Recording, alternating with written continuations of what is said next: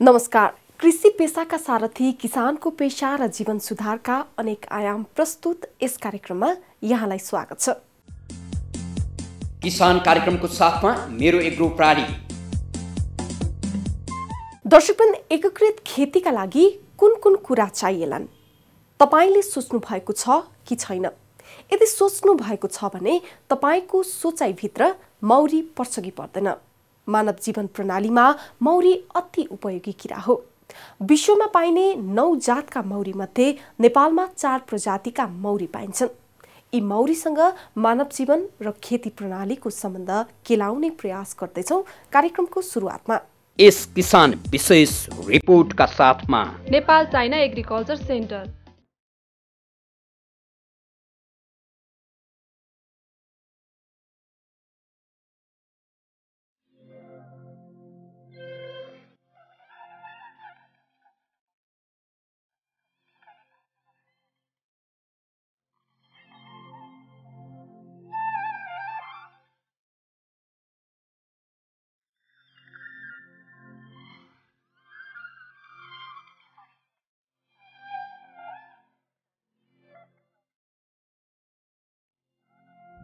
मौरी पालन व्यवसाय नेपालमा अति प्राचीन समयदेखि अभ्यास गरेको पाइन्छ।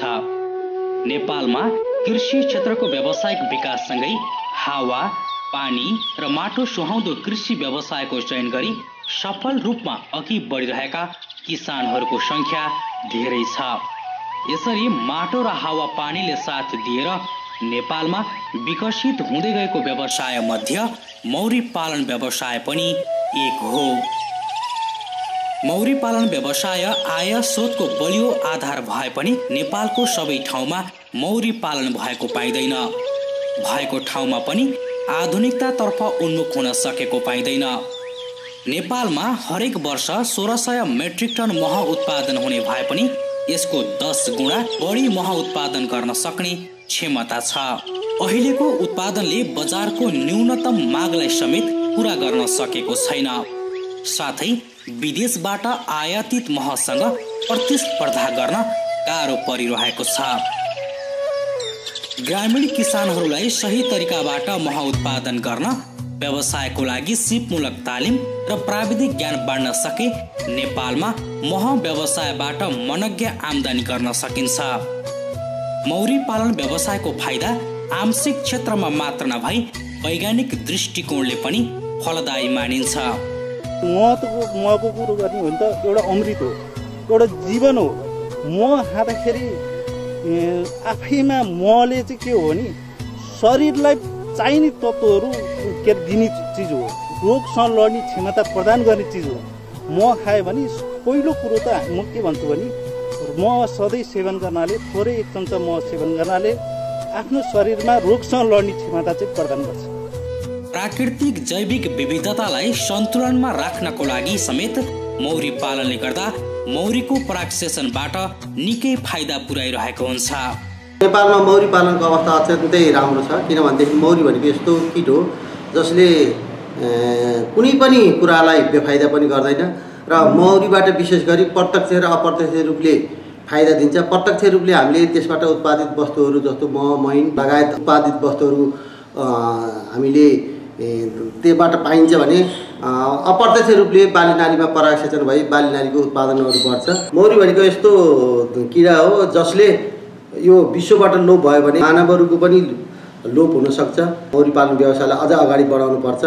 त्यसले गर्दाखेरि यसले रोजीरोटीदेखि लिएर रोजगारका विभिन्न विषयवस्तुहरूमा यसले महत्त्वपूर्ण भूमिका खेलेको छ।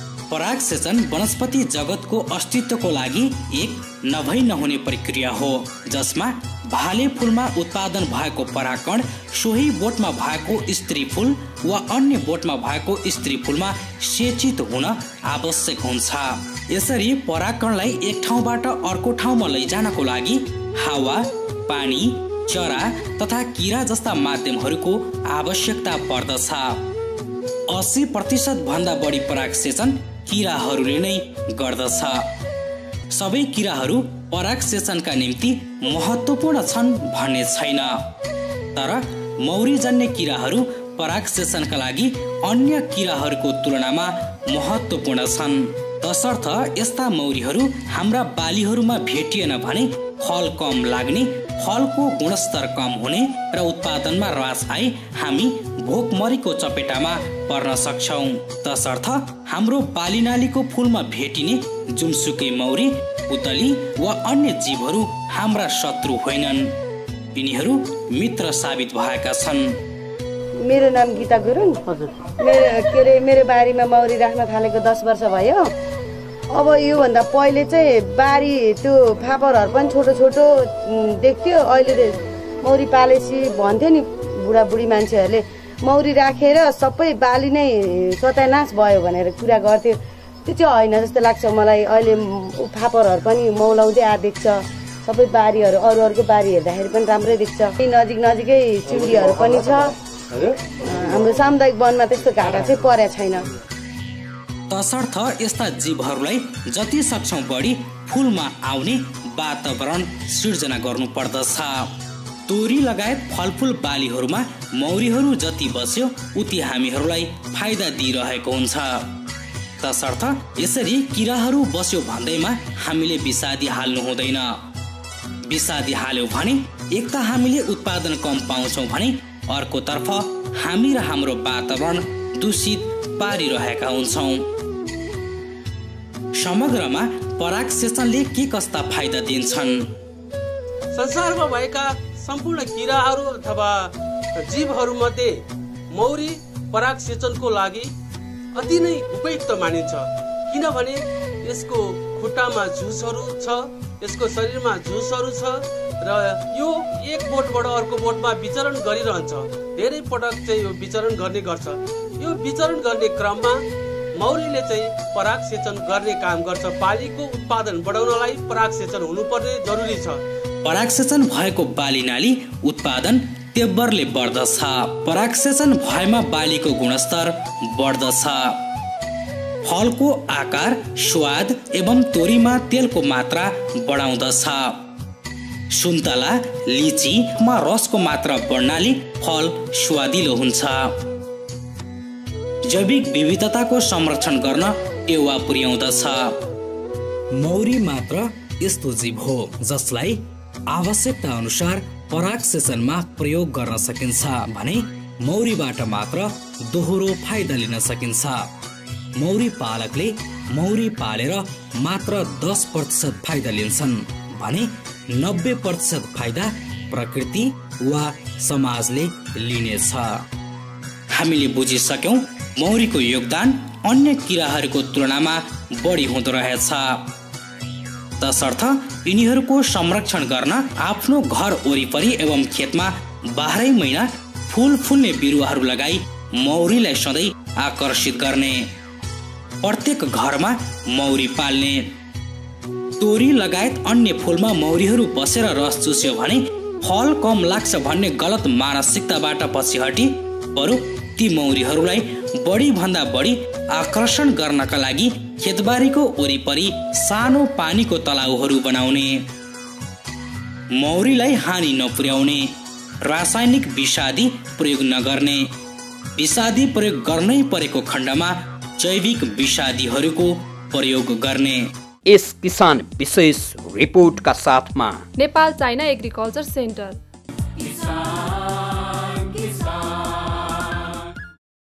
दर्शकबिन कृषि पेसाबाट राम्रो आम्दानी लिन माटोको गुणस्तर राम्रो हुनुपर्छ। बिरुवालाई चाहिने सूक्ष्म पोषक तत्त्व माटोमा पाइनुपर्छ। तर विडम्बना पछिल्लो समय रासायनिक मलको प्रयोगले नेपालको माटोमा बिरुवालाई चाहिने पोषक तत्त्व सकिँदै गएको छ। यसै सेरोफेरोमा कुरा गर्न हामीसँग माटो व्यवस्थापन निर्देशनालयका निमित्त प्रमुख रामचन्द्र पौडेल हुनुहुन्छ। कार्यक्रममा स्वागत छ। धन्यवाद। माटो व्यवस्थापनका लागि किसानले आफ्नो तर्फबाट कार्यहरू गरिरहेका छन्। सरकारी पक्षले पनि त्यही अनुसार आफ्नो कार्यहरू गरिरहेका छन्। तर दुईजनाको खासै तालमेल मिलेको छैन। के भन्नुहुन्छ? अब माटो व्यवस्थापनको निर्देशनालयले वास्तवमा कामको कुरा गर्दाखेरि पहिलो काम चाहिँ माटो परीक्षण गर्ने हो। र परीक्षणबाट चाहिने निस्केका चाहिने नतिजाहरू जस्तै चाहिँ माटोमा के छ त? त्यसमा चाहिँ नाइट्रोजनको अवस्था के छ? फस्फरसको अवस्था के छ? पोटासको अवस्था के छ? त्यसमा चाहिँ अर्ग्यानिक पदार्थको चाहिँ अवस्था चाहिँ के छ? अनि त्यसपछि माटोमा भएको पिएचको चाहिँ अवस्था चाहिँ के छ भनेर एउटा परीक्षणबाट पत्ता लगाउने कुरा भयो। र चाहिँ पत्ता लगाइसकेपछि अब चाहिँ त्यो भएको चाहिँ माटोलाई व्यवस्थापन गर्नका निमित्त आवश्यक पर्ने चाहिँ अब खाद्य तत्त्वहरूको चाहिँ उपलब्धताका कुराहरू र चाहिँ नि त्यसमा कृषि चुन त्यसको चाहिँ जुन अम्लीयपनालाई चाहिँ करेक्सन गर्ने कुराहरूमा कृषि चुनको चाहिँ उपलब्धताको लागि त्यहाँ डिमान्ड के हुन्छ र चाहिँ त्यसलाई चाहिँ पूर्ति चाहिँ कसरी गर्ने भन्ने किसिमको चाहिँ एउटा नीतिगत रूपमा जाने कुरा हुन्छ र त्यो चाहिँ भइसकेका कुराहरूलाई चाहिँ जिल्ला कृषि विकास कार्यालय चाहिँ मार्फत त्यसलाई चाहिँ प्रचार प्रसार चाहिँ गर्ने जिम्मेवारी हुन्छ। र त्यो अनुसार चाहिँ नै केही कुराहरू सबै चाहिँ जस्ताको तस्तै चाहिँ भएको भन्ने कुरा त अब म अहिले चाहिँ भन्न सक्दिनँ। तर पनि चाहिँ केही सुरु चाहिँ भएका छन् र चाहिँ केही त्यसका सुधारका चाहिँ कुराहरू चाहिँ भएकै चाहिँ सुधारका लागि भन्नुपर्दाखेरि माटो व्यवस्थापन निर्देशनालयले के कस्तो कार्यहरू गरिरहेको छ अब सुधारको चाहिँ कुरामा हामीले पहिला त अब मैले माटो व्यव के अरे परीक्षणका चाहिँ कुराहरू चाहिँ नि गर्नु गर्ने कुराहरू चाहिँ भने र चाहिँ मा परीक्षण गरिसकेपछि अब माटोको चाहिँ अवस्थामा त्यहाँ केही नि अवस्था त पक्कै पनि नि परीक्षणले नि बताउँछ र परीक्षणमा आएको चाहिँ नतिजालाई अब अहिले चाहिँ के- छ र हामी चाहिँ कुन बाली लगाउँछौँ त्यसको चाहिँ रिक्वायरमेन्ट अथवा आवश्यकता के हो त्यो बालीको निमित्त र नपुग के हो? र नपुग चाहिँ नि को निमित्त हामीले दुईवटा तरिकाबाट चाहिँ नि पुरा गर्ने हुन्छ। त्यसमा चाहिँ एउटा रासायनिक मलको चाहिँ कुरा र अर्को प्राङ्गारिक चाहिँ नि पदार्थको उपलब्धता। र त्यसमा चाहिँ नि सकेसम्म हामीले चाहिँ नि आधी जस्तै आवश्यकताको चाहिँ आधी भाग चाहिँ नि रासायनिक मलबाट र आदि चाहिँ प्राङ्गारिक मलबाट पुरा गर्ने चाहिँ हिसाबले अब एउटा रिकमेन्डेसनका कुराहरू चाहिँ हुन्छ अथवा सिफारिसका कुराहरू चाहिँ हुन्छ र त्यसैलाई चाहिँ नि आधार बनाएर किसानले नै गर्छन् भन्ने चाहिँ अहिलेसम्मको चाहिँ अवस्था चाहिँ छ। कसरी चाहिँ जानकारीहरू दिइराख्नु भएको छ? प्रचार प्रसारको माध्यमबाट हुन्छ कि कसरी? न अहिले चाहिँ नि के के छ भनेदेखि जस्तै चाहिँ माटो परीक्षणको लागि अहिले एउटा हाम्रो सोइल टेस्टिङ मोबाइल भ्यान भनेर एउटा प्रयोगशाला फिट भएको एउटा मोबाइल भ्यान छ। र त्यो मोबाइल भ्यान मार्फत चाहिँ नि हामीले माटो परीक्षण गर्न जाँदा सबैभन्दा पहिला चाहिँ नि एक दिन किसानहरूलाई चाहिँ ओरिएन्ट गर्छौँ। कसरी माटो चाहिँ को नमुना लिने भनेर अनि माटोको चाहिँ नमुना लिइसकेपछि त्यही ठाउँमा चाहिँ जहाँ किसानहरूको भेला हुन्छन् र भेला भएकै ठाउँमा उहाँहरूको चाहिँ माटो परीक्षण हुन्छ। र परीक्षणमा निस्केको चाहिँ रिजल्टलाई फेरि त्यसको चाहिँ भोलिपल्ट सम्बन्धित किसानहरूलाई चाहिँ भेला गराएर र जानकारी गराउने गराइन्छ। प्राङ्गारिक मल उत्पादन गर्नको लागि कारखानालाई मात्र पचास प्रतिशत अनुदान होइन? किसानलाई प्रति किलो दस रुपियाँ अनुदान दिने भन्ने जुन कार्यक्रमहरू राख्नु भएको छ नि खासै किसानहरू पनि त्यति आकर्षित भएको देखिँदैन। किन होला? वास्तवमा चाहिँ नि के छ भनेदेखि अहिले चाहिँ नेपालमा जुन पचास पर्सेन्ट अनुदानमा आएका चाहिँ कारखानाहरू चाहिँ तेइसवटा कारखानालाई चाहिँ नि नेपाल सरकारले अनुदानको व्यवस्था गरिसकेको अव- अवस्था हो। त्यहाँबाट उत्पादन पनि चाहिँ नि, अ, भयो। र उत्पादन चाहिँ नि भइसकेपछि अनि बिक्री गर्न सकिएन भन्ने चाहिँ गुनासोहरू पनि आयो। कृषि सामग्री कम्पनी लिमिटेड मार्फत पनि केही चाहिँ प्राङ्गारिक मलहरू वितरण भएको अवस्था पनि थियो। र त्यतिखेर चाहिँ नि त्यसलाई त्यहाँ के भयो भनेदेखि त्यतिखेर अलिकति चाहिँ नि किसानहरूले अथवा सहकारीले चाहिँ नि बाध्यता गराइयो सहकारीले चाहिँ खरिद गर्नका लागि अथवा रासायनिक मल सँगसँगै चाहिँ प्राङ्गारिक मल पनि लानुपर्छ भन्ने किसिमले चाहिँ नि बाध्यता गराइयो। र त्यो बाध्य बाध्यता चाहिँ नि भएर सहकारीले चाहिँ लिएर गए र किसानहरूसँग चाहिँ नि केही न केही चाहिँ नि आफ्नो गोठमा भएको मल त थिँदै थियो। र त्यो चाहिँ नि मल अब किसानले चाहिँ त्यो सस्तोमा पाइन्छ एक दुई रुपियाँ किलोमा मात्रै चाहिँ पर्छ भन्ने चाहिँ अनुमान गरेका थिए। तर सामरिक कम्पनी लिमिटेडले चाहिँ बिक्री गरेको मूल्यमा अनुदानमा पनि दस दस रुपियाँ चाहिँ पर्न गयो। त्यसले गर्दाखेरि दस रुपियाँ चाहिँ तिर्न तिरेर लगेको चाहिँ मलले हाम्रो चाहिँ बाली चाहिँ सप्रन्छ नै भन्ने कुरामा चाहिँ उनीहरू विश्वस्त हुन सकेनन्। किसानले चाहिँ के भने तुरुन्तै चाहिँ रिजल्ट चाहिने उसले चाहिँ नतिजा चाहिँ हेर्नुपर्ने भएको कारणले पनि त्यसको चाहिँ अलिकति आकर्षण चाहिँ हुन सकेन। जसले गर्दाखेरि बढी चाहिँ कार्यक्रममा चाहिँ बढी मतलब पुरा हुन सकेन र त्यहाँदेखि बजेट फ्रिज भयो भएको हो। माटोको पौष्टिकतालाई जोगाइराख्नको लागि अबका दिनमा के के कुराहरू गर्नुहुन्छ यहाँहरूले? किसानहरूलाई सबैभन्दा पहिला चाहिँ माटो जचाउनुहोस् र माटो पनि चाहिँ एउटा नमुना जुन लिने तरिका छ त्यो तरिका बुझ्नुहोस्। र माटो नि जचाउँ जचाउँ। र माटो जचाइसकेपछि माटोमा भएको उम्, पौष्टिक तत्त्वहरूको नि केही हामीलाई जानकारी हुन्छ। र नि बिरुवा अथवा नि बाली लगाउनको लागि चाहिँ आवश्यक पर्ने खाद्य तत्त्वहरू के के मतलब आवश्यकता के के हो? त्यो कुरा अ, बु बुझौँ प्रशस्त मात्रामा प्राङ्गारिक मल प्रयोग गऱ्यौँ भनेदेखि सबै प्रकारका नि तत्त्वहरू नि पाइने हुँदा त्यसबाट चाहिँ आधी भाग चाहिँ जति चाहिँ आवश्यकता हो त्यसको चाहिँ आधी भाग चाहिँ नि प्राङ्गारिक पदार्थबाट पुरा गरौँ र आधी चाहिँ नपुग भएको चाहिँ आधी मात्रा जति हामी चाहिँ रासायनिक मलबाट चाहिँ प्रयोग गर्नुपर्छ भन्ने चाहिँ किसिमको सन्देश दिनुपर्छ। धन्यवाद।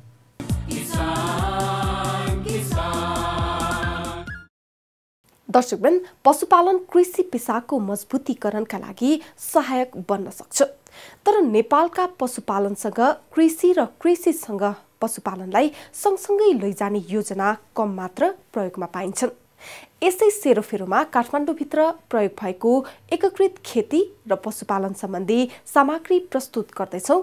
अबको प्रस्तुतिमा। किसान सफलताका कथाका साथमा। हामी सबैको सरोकार कृषक राष्ट्रिय माझी।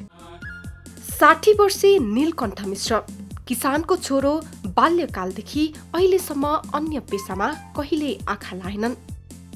नुवाकोटमा जन्मिएका नीलकण्ठ मिश्रले दुई हजार अडचालिस सालमा गाई पालनसँगै प्राङ्गारिक तरकारी खेती सुरु गरे। प्राङ्गारिक खेतीबाट व्यावसायिक रूपमा आर्जन राम्रो नभएपछि व्यवसाय नै बन्द गरे। एकातिर विफल भयो त के भयो?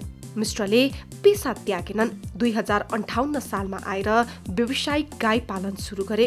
उनीसँग अहिले होलस्टेन र जर्सी गरी एक सय तिनवटा गाई छन्। राजधानीको गोङ्गोबु चोकबाट साढे सात किलोमिटर टाढा ढोखा चण्डेश्वरी चार भिल्ली धारापाटीमा उनको गाई फार्म छ। यो फार्म स्थापना तथा व्यवस्थापन गर्न उनका साथमा द्वारिका महर्जन पनि छन्। काठमाडौँको स्थानीय अर्थात् सहरवासी भएर पनि नीलकण्ठसँग उनको व्यावसायिक भावना मिल्यो। त्यसैले दुवै मिलेर संयुक्त लगानीमा साठी रोपनी जग्गामा फार्म सञ्चालन सुरु गरे।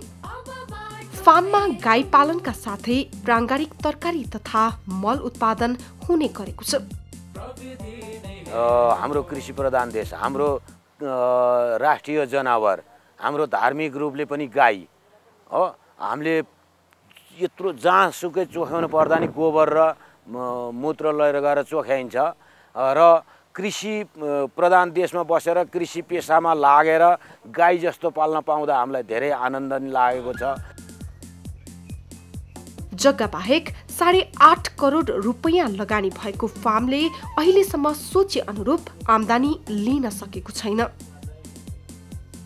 त्यही पनि यी दुई साथीले हार मानेका छैनन्। कृषि पशु व्यवसायबाट नेपालको अर्थतन्त्रमा योगदान पुर्याउने लक्ष्यका साथ अगाडि बढेका छन् मिश्र र महर्जन। के गर्ने त भन्दाखेरि दुईजना सल्लाह अलिअलि गाई पालेर हेरौँ त। भन्ने हिसाबले चाहिँ त्यसरी चाहिँ म कृषिमा आबद्ध भइयो। खासै गरी के देखियो भन्दाखेरि पनि यो कृषि फार्म अब कृषि कृषि प्रधान देश भन्ने त हो नि हाम्रो नेपाल। त्यसै कृषि व्यवसाय नै गर्नु पर्ला एकचोटि भनेर चाहिँ हामी लाग्यो। तर यसमा मेरो विचारमा चाहिँ फस्या जस्तो भयो। तर यसलाई चाहिँ सक्सेस बनाउन चाहिँ खोजिरहेछौँ हामी। जसरी भए पनि यो साम दाम दण्ड भेट भन्छ नि त्यति युज गरेर भए पनि हामी सक्सेसमा जाने भन्ने प्लान छ। व्यवसायबाट उत्पादन लिन जति कठिन छ त्यसको बजार पाउन र लाभ लिन उत्तिकै कठिन छ। त्योभन्दा कठिन राज्य प्रदत्त सुविधा प्राप्त गर्नमा छ। मिश्र यसरी दुःख सुनाउँछन्। उपभोक्तालाई तपाईँहरूले दुध किनेर खानुभएको होला अस्सी रुपियाँ लिटरमा खानुभयो होला दुध विकास संस्थानको दुध डेरीको दुध हामीसित पैँतिस चालिस रुपियाँ पारेर लिन्छ। धेरै सरकारले धेरै कुराहरू गर्नुपर्ने छ भारतमा पर्ने मूल्यमा हामीले मिसिनेरी चिजहरू पाउनुपर्छ। निर्ब्याजी चार वर्ष पाँच वर्ष त्यसपछि राम्रो ब्याज लिनुपर्छ। चार वर्ष पाँच वर्ष थोरै ब्याज होइन पाँच पर्सेन्ट होइन ब्याज लिनु हुँदैन। सुविधा पाए पनि या नपाए पनि आफूले रोजेर गरेको पेसा छोड्नु भएन। मिश्र र महर्जनले मिलेर गाई पालनसँगै प्राङ्गारिक खेती पनि गरेका छन्। आफूले उत्पादन गरेको प्राङ्गारिक मल बजारमा पाइने भन्दा बढी पौष्टिकता भएको मल हो उनीहरूको दावी छ। हिजोको जसले जे मल प्रयोग गर्नुभएको थियो हाम्रो एकपल्ट हालेर हेर्दा हामीले चाहिँ डबल तेब्बर उत्पादन हुन्छ भन्ने आशा राखेका छौँ। राम्रो काम गर्न खोज्दा खोज्दै सहयोग प्राप्त नभएपछि मिश्र र महर्जनको जोडी बेला बेला निरुत्साहित बन्छ। तर फेरि हिम्मत जुटाएर पौरख गर्न थाल्छ दुध बढी उत्पादन गर्न सक्नु पर्यो। अहिले हाम्रो दुध उत्पादन छैन। धेरै कम छ। किनभने हामीले हामीले यो घाँस मुख्य गाईलाई खुवाउनु पनि घाँस हो। घाँसबाट दुध उत्पादन हो। त्यो पनि हामीले अहिले पुर्याउन सकेका छैन। काठमाडौँ जस- जस्तो ठाउँमा यत्रो फर्म राख्नु नै हाम्रो अब नेपाल अधिराज्य भरि नभनौँ हाम्रो बागमती अञ्चलमा वान्टेडमा छ यो फर्म। सरकारले वान्टेडमा पनि राखेको छ हामीलाई राम्रो काम गर्यो भनेर भनिया पनि छ। तर सरकारले हामीलाई सहयोग गरेका छैन। त्यो एउटा प्याटको संस्था परेको छ। चार पाँच वर्ष भइसक्यो त्यसमा लागिरहेको। अहिलेसम्म पैसा चाहिँ परेको छैन। त्यो तिरानब्बे लाख रुपियाँ लिनलाई साढे दुई करोड तिन करोड रुपियाँ हामीले लगानी गर्नुपर्छ अरे भनेर हामीलाई त्यो पैसा हामीले पाएको छ। हामी बिसौँ करोड रुपियाँ लगानी गरिसकेका छ। हामीले अब फेरि दुई करोड रुपियाँ कहाँबाट लगानी गर्ने? यस फार्मले अठार जनालाई प्रत्यक्ष रोजगारी दिएको छ। उत्पादित दुध आफ्नै डेरी मार्फत बिक्री वितरण हुँदै आएको छ भने सामानहरू ओसार्नका लागि एउटा गाडी समेत रहेको छ। आउँदो आठ वर्षमा एउटा गाईबाट पच्चिस लिटरसम्म दुध उत्पादन गर्ने लक्ष्यका साथ अगाडि बढेको फार्म आगामी दिनमा उन्नत गाईको सङ्ख्या बढाउँदै लैजाने प्राङ्गारिक तरकारीहरू उत्पादन गर्ने पर्याप्त घाँस उत्पादन गरी कृषि क्षेत्रमा टेवा पुर्याउने योजनामा लागि परेको छ। अब हाम्रो यहाँ चाहिँ घाँस लगाउने ठाउँ चाहिँ काठमाडौँको जग्गा घडेरी घडेरी घडेरीमा सिद्धिँदै गयो। अब हामीले चाहिँ नवलपरासीमा जग्गा लिस नै सक्यौँ सम्झौता हुन बाँकी छ। थप लोन लिएर अब त्यहाँ पनि यहाँ बाछीहरू चार महिना नागेका बाछीहरू त्यहाँ लैजाने ब्याएको आठ दस दिनमा यहाँ लिएर आउने। लैना गाई मात्र यहाँ राख्ने। अब चाहिँ हामीले गाईको पनि वृद्धि गर्ने बढाउने तरकारी खेती पनि गर्ने। करोडौँको निजी लगानी नाफा नभए पनि प्रयास नछोड्ने पशुपालनलाई कृषि पेसामा एकीकृत गर्ने काम कृषि फार्मको सफलताका सूत्र हुन्। यस प्रकारका उत्साहको संरक्षण गर्न सके उत्पादनमा वृद्धि हुने त छँदैछ यसबाहेक अनुसन्धानकर्ता तथा प्राविधिक ज्ञान लिनेहरूका लागि सिकाइ स्थल पनि बन्न सक्छ। किसान सफलताका कथाका साथमा हामी सबैको सरोकार कृषक राष्ट्रिय माझी। दर्शकबिन नेपालमा कृषि पेसाबाट देशको अर्थतन्त्रमा ठुलो योगदान पुग्न सक्छ। तर त्यसका लागि हरेक किसानले आफ्नो पेसामा सम्भावना देख्ने वातावरण तयार हुनुपर्छ। यो एकल प्रयासले मात्र सम्भव छैन। त्यसैले सबै मिलेर किसानलाई पेसा सञ्चालन गर्न प्रोत्साहन गर्ने काममा लाग्नु आवश्यक छ। हामी भने यस कार्यक्रममा सूचना केन्द्रका रूपमा काम गर्न तत्पर छौँ। तपाईँ पनि हामीसँग दुःख सुख आदान प्रदान गर्न चाहनुहुन्छ भने सम्पर्क गर्नुहोस्। हाम्रो ठेगाना कार्यक्रम किसान काठमाडौँ मिडिया अनामनगर काठमाडौँ। तपाईँले हामीलाई स्क्रिनमा देखाइएका फोन नम्बर फेसबुक र युट्युब च्यानलमा पनि भेट्न सक्नुहुनेछ। अर्को साता थप सामग्रीका साथ उपस्थित हुनेछौँ। त्यतिन्जेलसम्मका लागि कार्यक्रम युनिट सहित मलाई पनि बिदा दिनुहोस्। नमस्कार। किसान किसान किसान।